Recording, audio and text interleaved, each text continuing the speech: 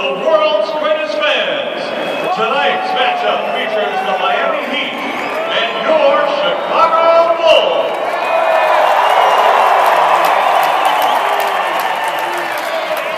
Ladies and gentlemen, today the world lost one of its most iconic and indelible leaders, Nelson Mandela.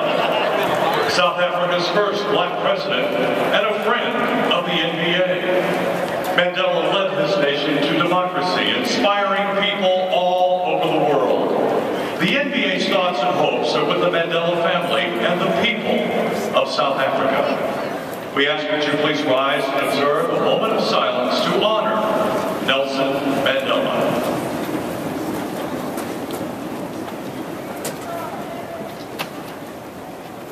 Thank you.